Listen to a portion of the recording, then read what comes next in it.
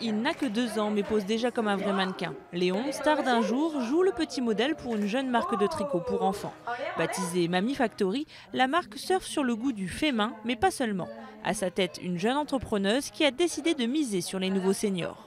Manufactory a essayé un peu de dépoussiérer le tricot. Je me suis dit, mais voilà, ces seniors, euh, au lieu d'essayer de, leur vendre euh, des choses, pourquoi pas justement, comme ils sont de plus en plus jeunes et de plus en plus euh, actifs, même à la retraite, pourquoi pas profiter de leur talent et leur faire créer des produits qui correspondront à cette, cette envie de consommateurs de retourner à des choses authentiques et porteuses de sens.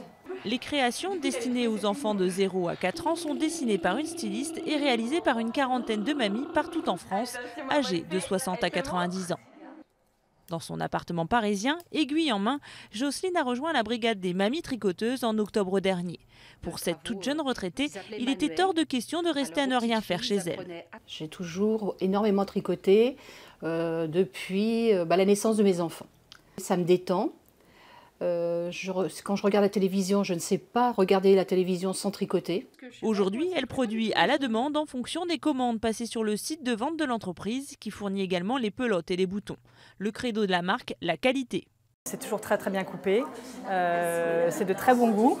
J'aime beaucoup euh, le style de ce genre de petits vêtements. Et à, unisexe aussi, puisque du coup je peux les mettre aussi bien à mes garçons qu'à ma fille, pour la plupart. Et, et puis voilà, j'aime euh, voilà, surtout les, matières utilisées.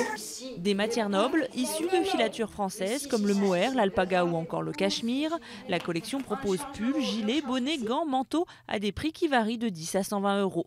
Les mamies, elles, sont rémunérées 4 à 5 euros la pelote tricotée. Un petit revenu certes, mais qui complète des pensions de retraite parfois faibles.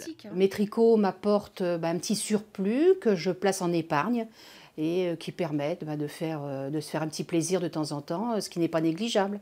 La marque devrait ouvrir prochainement une boutique dans le 17e arrondissement de Paris, un établissement dans lequel les mamies tricoteuses pourront également montrer leur talent aux clientes et échanger leurs techniques entre elles.